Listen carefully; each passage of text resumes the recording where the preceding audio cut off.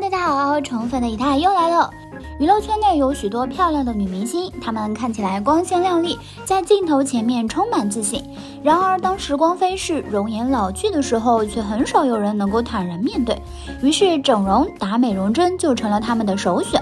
很多整了容的女星，年轻的时候可能会很惊艳，但保质期一过，状态就会差很多，甚至僵硬到无法做正常的表情。年轻时都是漂亮迷人的美女，一个整容老去，一个自然老去，现在对比究竟有多惨烈呢？接下来咱们就一起看看吧。高圆圆 vs 黄奕，国民女神高圆圆带着新剧《完美伴侣》复出，她在剧中饰演四十岁的精英女律师陈珊。尽管已经阔别荧屏九年，她的状态和演技都在线。高圆圆的脸看起来美丽又自然，虽然带有岁月的痕迹，但这恰好更能展示中年女性的韵味和魅力。正是因为她不打针不动脸，所以在剧中才能灵活地做表情，不管是生气还是高兴，都非常有代入感。观众纷纷感慨，以前光顾着欣赏高圆圆的美貌了，现在才发现她的演技这么出彩。今年一月八日，高圆圆在社交平台晒出自己的海边写真，一袭黄色连衣裙，长发披肩，明眸一笑，美丽动人。她年轻的时候也拍过一张回眸一笑的照片，大家对比一下，是不是变化不大呢？甚至有点逆生长的感觉。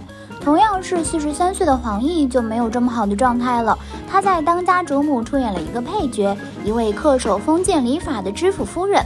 和以前相比，她的样子变化太大，脸很僵硬，做表情也不自然，念台词的时候感觉嘴巴都张不开。而在《王牌对王牌》节目中，上错花轿嫁对郎剧组重聚，那时黄奕的脸看着也好奇怪。回看当年的李玉湖，那时黄奕在剧中是多么灵动自然啊！飒飒呢？就是那天上飞的雁。樱桃 vs 姚千羽，如今已经四十岁的樱桃曾因为一个背影上过热搜。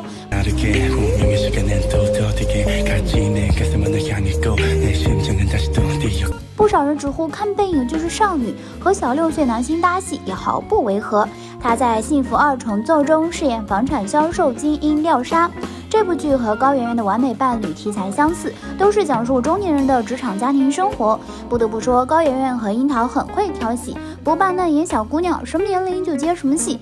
樱桃的脸虽然没有以前那么年轻水灵了，但还是很好看，没有整容的痕迹，演技自然灵动，一颦一笑都能打动人心。樱桃的颜值巅峰是杨贵妃时期，那个时候她真是娇俏妩媚，宛若水蜜桃一般水灵甜美。现在的她和杨贵妃时期相比，容貌变化不大，属于自然优雅的老去。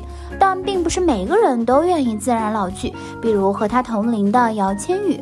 皇后刘黑炮是二零二二年的待播古装剧，姚千羽在剧中饰演太后。在剧组晒出的杀青照中，她头戴凤冠，身穿华服，妆容精致，但是却变了一张脸。姚千羽原本是一个清秀佳人，很有辨识度，而且演技不俗，主演过《女人不哭，笑着活下去》《我是一棵小草》等电视剧，深受观众喜爱。可是后来她希望自己变得更美一点，于是开始整容。每次出现在我们面前，样子都会发生一点变化，辨识度越来越低。演技也越来越差。赵雅芝 vs 萧蔷，当年不知道多少人因为看《小李飞刀》而喜欢上了萧蔷所饰演的林诗音，就连很难驾驭的扇子发型都因为她爆火，这也让年仅二十二岁的她就有了台湾第一美女的称号。那段时间可以说是她的颜值巅峰。可是萧蔷却不满足于自己的样貌，选择了整容来让自己更加完美。老了之后，她的脸却出卖了她。现在五十多岁的萧蔷身材依旧姣好像少女，可脸部却十分僵硬，和比自己年年龄还大很多的赵雅芝站在一起，面部问题就更明显了。现在的赵雅芝虽然称不上冻龄，但是看起来也要比实际年龄年轻许多。即使脱离精修，她的面色依旧红润，整个人的精神状态也非常好。在我们的印象里，赵雅芝一直是那个布朗女神。翻看她之前的作品，赵雅芝的颜值貌似变化不大。不过她毕竟六十八岁了，就算保养的再好，也难免会显露老态。好在她没有选择医美的手段，一直保留着自然的容颜。即使老去，但身上的那种独特的气质依旧让她充满魅力。钟楚红 vs 蔡明。小品女王蔡明年轻时才貌双全，有很多追求者，包括《我爱我家》中的梁天，曾给她连写过八封情书。那时她收到的情书都是助理用麻袋给她背进屋子的。不过众多追求者中，有一个叫做丁秋星的编剧俘获了蔡明的芳心。一九八五年，两人步入婚姻殿堂，两年后儿子就出生。后来蔡明越来越红火，丁秋星越来越默默无闻，但他们相伴三十多年，依然恩爱幸福。最近几年最让观众热议的就是蔡明外形的变化，妆容越来越浓，面部越来越僵硬，像戴着一张面具。那么，比蔡明大一岁、选择自然老去的钟楚红，如今是什么样呢？钟楚红追求自然美，她曾说自己保养秘诀就是做最真实的自己，接受自然老去的事实，因此坚决不整形。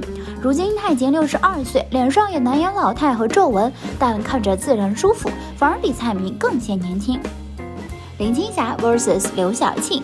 林青霞虽然不是香港小姐出身，但是在上世纪八九十年代可谓是艳压群芳，能跟她媲美的女星寥寥无几。随着时间推移，林青霞渐渐淡出了娱乐圈，直到二零零四年，她彻底退出了演艺圈，开始了自己的写作之路。最近两年，林青霞很少会在公众面前露面，只是偶尔会参加一些时尚活动。去年六月，林青霞就曾参加了一场活动，虽然已经步入奶奶辈的年纪，脸上皱纹明显。身材也严重发福，但是她的魅力并没有被岁月侵蚀。曾经的妩媚动人转变成了现在的温婉优雅，为她增添了一份成熟女人的沉稳和知性。反观行事大胆泼辣的刘晓庆，一生经历丰富多彩，包括自己整容，她都毫不避讳地承认。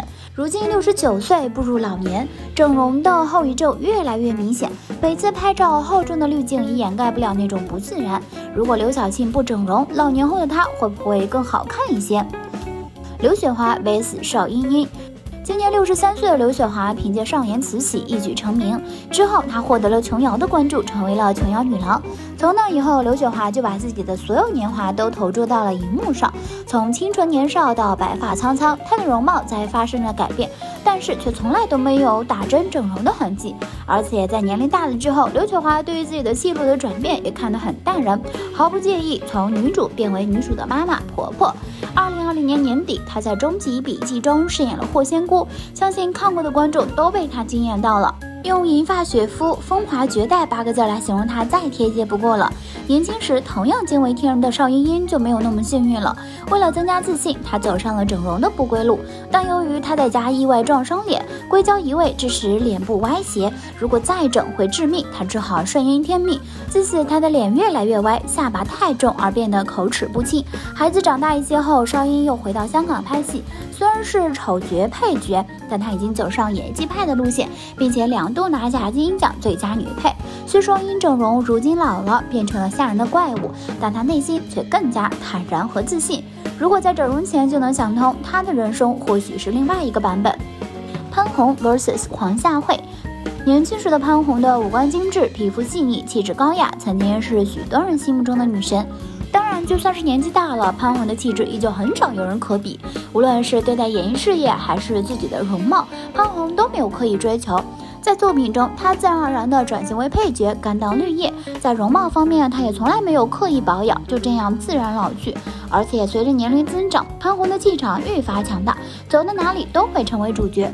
同样上了年纪的黄夏蕙，年轻时也是个大美人，但是她担心自己年老色衰之后会被爱人抛弃，于是她开始在脸上动来动去。在那个时代，医美行业并没有像现在一样发达，导致她整容失败，只能一直去修复，变成了现在的样子，也蛮让人唏嘘的。邓婕 vs 郑裕玲。今年六十五岁的邓婕也是自然老去的代表。年轻时的邓婕脸型小巧，五官精致，尤其是一双大眼睛，非常有灵气，怪不得能被称为最美王熙凤。这两年，邓婕很少在公众面前露面，生活的十分低调。但是从她偶尔分享的照片也可以看出，她的状态很好。她留着一头短发，眼窝深陷，身材略微发福，但是看起来精气神十足。网友们都不禁夸赞道：“凤姐风韵犹存。”爱美的郑裕玲就不如邓婕这么幸运了。最近几年，她迷上了整容，然而脸越来越崩，看起来非常别扭。不知道漂亮姐姐为什么不能自信一点？何赛飞 vs 高宝宝。